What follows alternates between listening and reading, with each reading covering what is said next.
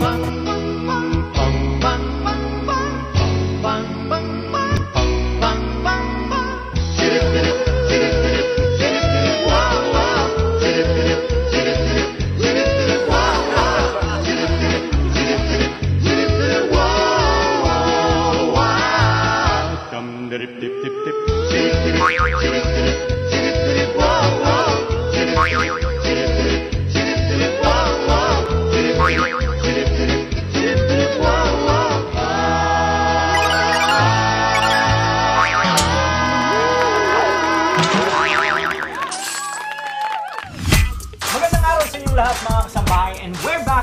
Give you tips and ideas kung ano-ano mga negosyo ang pwede niyong pasukin.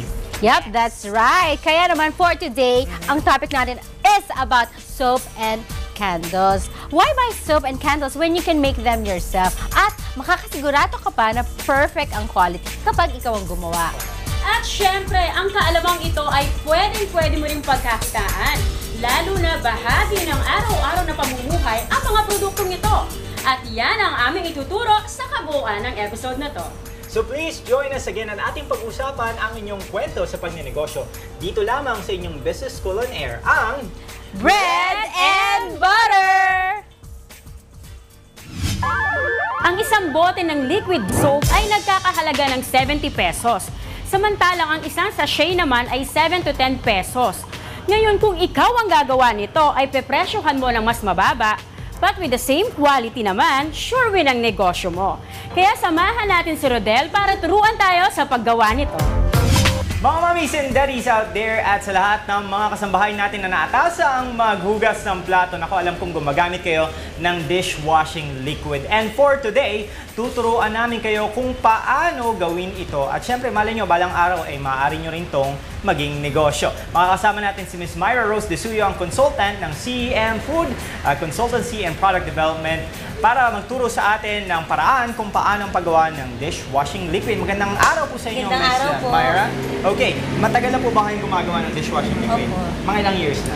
Uh, since 2008. Since 2008 pa. Malakas ba siya as a negosyo? Yes, ma- malaki siyang pang negosyo, ah, especially ah, yung household lang, mga nanay na gustong magnegosyo din, ng pakonti-konti.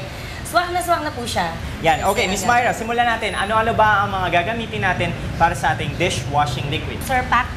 Degreaser para pampatanggal ng mantika, thickener para malapot yung ating dishwashing liquid, at water softener, foam booster, antibac, syempre para yung ating mga plato is free from bacteria, scent para mag-enjoy ka naman na maghugas dahil mabango. Aha. And of course yung color kasi baka mamaya mapagkamalan pong juice. Okay, ngayon nalaman na natin ang mga gagamitin natin sa paggawa ng dishwashing liquid soap. Ngayon naman, alamin natin ang step-by-step process ng paggawa nito.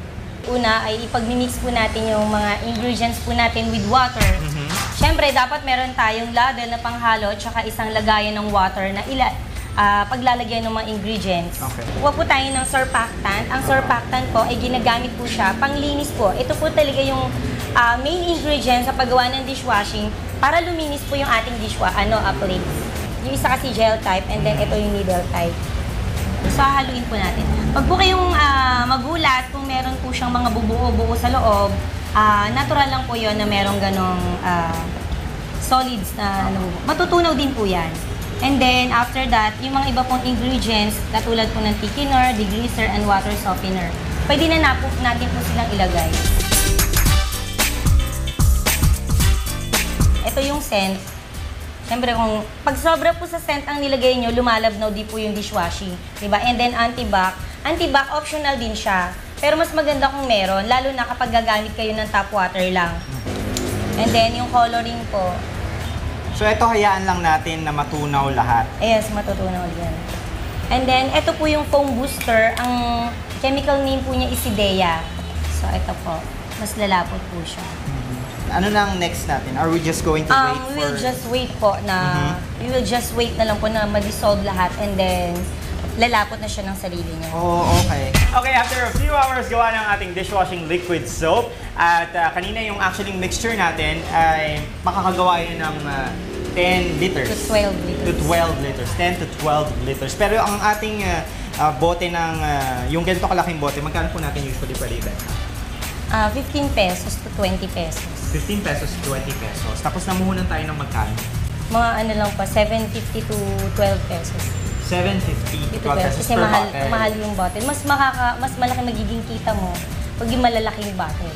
Oh, okay. Pero yung ah, gastos natin para dun sa 10 to 12 ah, liters of... Ma, mga ano, 375 to 425. Depende sa volume okay. ng bibilin mong raw mats. Then, Siyempre, mas marami, mas mura. ang babalik po sa inyo na ano na benta around 500 to 600 pesos. Depende rin sa ah, kung paano kung magkano niyo maiibenta. Let's say 1 liter kaya niyo ibenta ng 75 pesos to 100, mas malaki ang kita niyo. Actually, nasa sa inyo na lang yun kung paano nyo papagandahin yung produkto nyo. At syempre, yung way nyo ng pagmamarket and presentation para mas malaki ang maging kita niyo pagka gumawa kayo ng dishwashing liquid. So actually, ang dali-dali lang niyang gawin. At kahit ako actually is gusto ko na siyang inegosyo. anyway, maraming salamat Miss Myra. Thank you very much for sharing uh, to us this day ang paggawa ng uh, dishwashing liquid soap. Ngayon naman, uh, tuturuan tayo ni Natasha kung paano naman ang paggawa ng detergent powder. Ay mga mami, kung nabibigatan na kayo sa expenses nyo sa paglalaba, why not create your own powder detergent? Kaya ready na kayo dahil tuturuan namin kayo sa paggawa. Bukod sa makakabawas na ito sa gastusin nyo at pwede pa nyo itong pagkakitaan. At ngayon, kasama pa rin natin si Miss Myra Rose de Suyo, uh, consultant ng CEM and Full Consultancy Development. So ngayon, ano ba yung mga kakailanganin natin sa paggawa ng ah, powder detergent? Surfactant, filler, water softener, ultra bleach, foam booster, speckles, and degreaser. Eto, sige. Unahin po natin yung surfactant. Surfactants po siya po talaga nakakapaglinis ng damit. So, actually, napakasimple lang po yung paggawa na Parang halu-haluin powder detergent. Paghahalu-haluin nyo lang po siya. Saan nabibili ang mga yan? Sa chemical store din po ito nabibili. Pe- meron din po sa Allison's. Kung gusto nyo ng mga premix na po siya, ito, eksaktong sukat ang bibilihin po ninyo. Pwede rin po kayong bumili sa R2R Food Trading.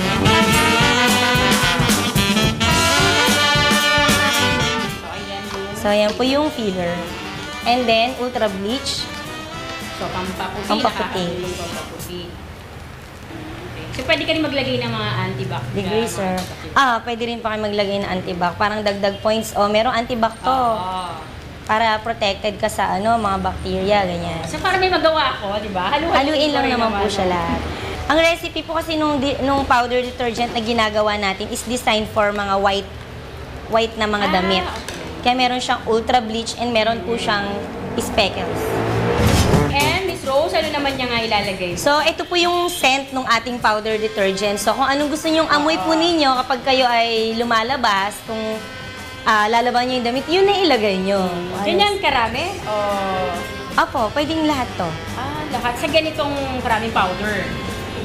So, nakakatuwa, di ba ganito karami? Magkano? 60 pesos 60 po. 60 pesos, di ba? Kung bibili Actually, ka pwede na- pong, pwede siya mag-cost ng... Makakatipid ka talaga. Sobrang tipid. Diba? So, kaya yung mga umaangal, Sa mga mami sa niya, no? Pwede napakadali naman pala.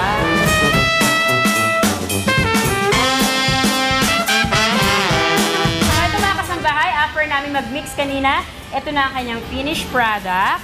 So, Rose, magkano ang kikitain natin dun sa puhunan natin kanina, 60 pesos na ganun karami? Magkano ang pwede natin kitain?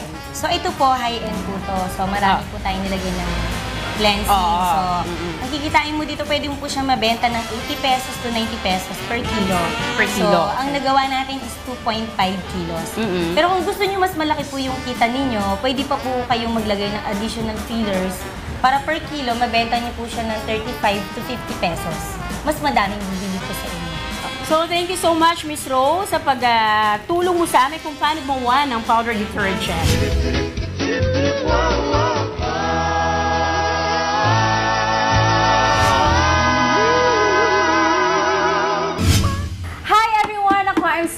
Excited today kasi matututo tayong gumawa ng candles. We have two kinds actually. Isang molded and isang scented candle. Makakasama ko po ngayon si Mr. Ernesto San Pedro, isang livelihood skills trainer ng Nego Lake training. Hello! Ayan. Alam mo ba, personally, mahilig talaga ako sa mga kandila, lalo na sa scented candles. So, tuturuan niyo po kami ngayon, Yes, no? ma'am. Opo. Tuturuan ko po kayo ngayon ng paggawa ng kandila.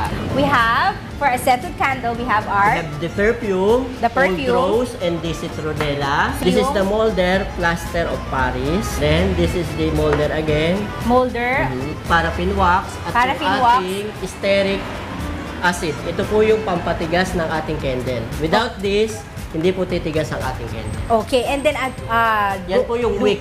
Wick. Ah, yung tali na Oh, natin. wick. Lahat ito. yan ay ma-acquire natin sa Divisoria. Readily available siya. May Mm. mga store doon na nagtitinda ng raw mat ng candles. Raw materials. Okay, ayan. Sige, umpisahin na po natin. Sa paggawa niyan, Ay, syempre, kailangan din natin ng stove. Kailangan natin kung wala kayong kettle or improvise, you can use this one. Lata. Lata ng gatas, Aha. lata ng ano, Pero kung meron ng mga kettle na hindi na ginagamit, you can use it para mas maganda. kettle. Oo. Yeah. oo. Pero syempre, kailangan, importante po Yes. ba na fire? Opo, Hindi pwedeng po. electric stove or induction oven. Pwede naman po, kaya lang... Mas maganda pag mas maganda. apoy. So, binuhos natin yung ating wax. Binuhos and then, po yung wax. Pag natunaw po ito, i-add po ang steric acid. acid. Pangpatigas. Aha, Okay. pampatigas. Pag natu- Ayan. ay, hindi pa po tunaw. Kailangan nyo po ng panghalo, Wooden. kahoy. Hindi Wooden. pwedeng aluminum or something. Pwede naman pong aluminum. Pero mas maganda Mas wooden. maganda wooden. Bakit? Bakit daw, kuya? Kasi pagka aluminum, Hmm? may tendency hindi mo mahawakan pagka mainit na. Tama! Unlike pagkakahoy, Hindi siya umiinit Hindi siya yung umiinit. handle. Kahit iwanan mo siya. Oh, may natutunan tayo. Yeah. Okay. bubuhos ko po itong steric acid. Na hindi pwedeng sumobra or else Or else, titigas na masyado Titigas ang siya? kandila, hindi na siya mag sisindi. So ito mga 500 grams? Aha. Gano'n yan katagal? Mga 10, 15 minutes, Aha, right? 10 to 15. Pero kailangan bantayan. Yes, hindi po po pwedeng iwanan, delikado. Oo, kasi pag nag-overheat nga ang ating wax, baka pumunta sa ibabaw ang apoy. Okay na siya, tunaw na. Mhm. Lagyan natin siya ng sen. Scent. Ito yung citronella para sa mga lamok. Oo, Para natural way iwas of... dengue. Yes. Sige, buhos na natin, no? Konting ingat dahil baka May init. Papasok. Ayun. Pinubuhos mo na sa ating plaster of Paris na merong, ano nga ang tawag dyan, kuya? Wick. Wick or mitya. Wick. Yan. There. Ayan. Ayan. Ayan. Palamigin lang natin siya. Mga 2 Then, to 3 hours. Okay. And then, yun Then na. ito sa Okay na. bote, para naman ito tumayo. Sige po. Patigasin natin ito ha. Sige. Bababad natin makita ng siya ating dito. mga televiewers. Diretso mo siya dyan. Patigasin lang natin yung mitya. Para Ah, nilubog mo dun sa ating ano. Para dumiretso siya. Okay. Then, iikot mo siya pababa. Iikot mo yung ano, Yung mitya. mitsa. Kung gusto niyo mas malaki, mas malaki na glass or Ah. right, molder. Okay, so ito na yung ating Yes. ah, almost finished product. In about few hours, okay na siya. Ngayon po, pag-usapan naman natin kung magkano siya, ang ating puhunan, magkano ang kitaan, magkano bebenta. Ako Yan. po ay namuhunan dyan. Sa paraffin wax, ang aking paraffin wax ay 95 pesos per kilo. 95 pesos per kilo. Ang aking steric acid ay nagkakahalaga lamang ng 10 piso. Okay, so 105. Yun lang po ang aking puhunan. Unless kung magsisimula ka, medyo mahal ito. Yung ito plastic. ay, nag, yung molde natin, nagkakahalaga yan ng 300 pesos each. Ilan naman pong kandila ang magagawa natin? Ang magagawa natin ay umaabot ng 20 pirasong ganto na maibebenta mo na 20 pesos each. Wow! So ilang percent ang kinita mo? Napakalaki po, almost Oo. 100% Almost po ang 100%. Maganda pong pagkakitaan ng kandila. Yeah. Napakalaki okay. po ng tubo, kaya lang medyo delikado po. Ingat po tayo sa paggawa. Okay, there you have it mga kasambahay. Sana madami kayong natutunan kasi ako'y madaming natutunan. Marami pong marami pong salamat kay Sir Ernesto San Pedro, ang ating livelihood skills trainer ng Lego Link Training. Thank you so much, Salamat sir, din po. sa uulitin. Okay, thank you mga kasambahay sa uulitin.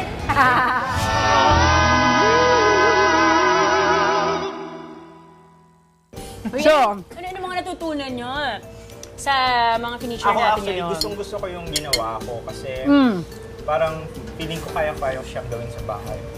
Yung And for only 300 pesos, makakapag-business ka. na. Liquid. Liquid ah, soap. oo. Ah, dishwashing. dishwashing liquid soap. Liquid soap. Ikaw? Dali, dali lang. Basta kompleto ka lang ng materials mo. Oo. Pwede, Ako din, kasi ang gastos ko sa ano eh, ang gastos ko sa powder detergent. So, Aha. ang gastos. So, yung ganun, ang dami mo nang, mas makakatipid ka. Di ba? At saka doon mo lang nalaman na hindi lang din pala sa bula na nakikita yung linis. Di ba? Oh, Mm-mm. Ako naman, ang natutunan ko sa ating episode for today na pag meron kang dream or passion, huwag ka kaagad susuko. Susuko. Oo. Huwag ka mag-give up pag nagkaroon ng problema. Tuloy-tuloy mo lang, right? Hanggang sa ma- makuha mo ang tagumpay na iyong Kumbaga, inaasam. it's part of everything. The journey journey. ng pagtatayo ng isang negosyo. Yeah, hindi ka kaagad. patience Oo, lang patience. din. Huwag kang mag-give up talaga. Tuloy pa rin, no? Correct. Yun. Okay, kaya maraming marami talaga tayong pwedeng pagkakitaan, right? Just look around you and your house. And you can get a lot of ideas already kung ano ang mga produktong tiyak na tatangkilikin ng mga tao. At sa tulong ng mga skills training companies gaya ng NegoLink, madali na lang matuto kung paano simulan ang iyong maliit na negosyo. At malay nyo, ang small business nyo ay maging big time someday. Until next time, mga kasambahay, ating pag-usapan ang inyong kwento sa pagnenegosyo dito lamang sa inyong Business School on Air, ang Bread and Butter! Bye!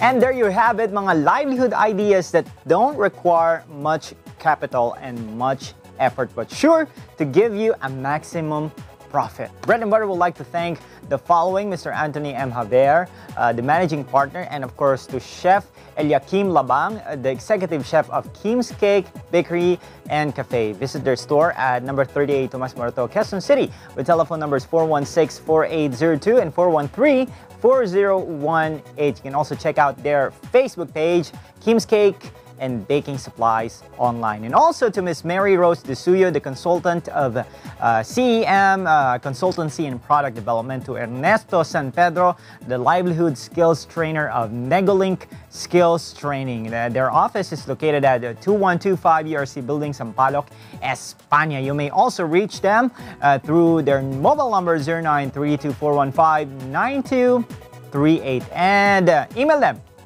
at earnestlike at gmail.com. At para po sa inyong mga katanungan and anything na gusto nyo pong ipaabot sa amin, you may reach us on our social media sites, uh, on Facebook, on Twitter, and Instagram. That's at BNB TV. And you may also watch our previous episodes at www.untvweb.com. Don't you forget to uh, send your comments and suggestions. Email us at bnbtv at gmail.com. You may also follow me on my social media account at Rodel Flordelis and visit my blog site nognoginthecity.com. So see you again next Tuesday. At syempre, to complete our intelligent primetime package, narito naman po ang isa sa mga favorite nating doktor, uh, syempre, sa ating paboritong medical show. Hi, Doc Lady!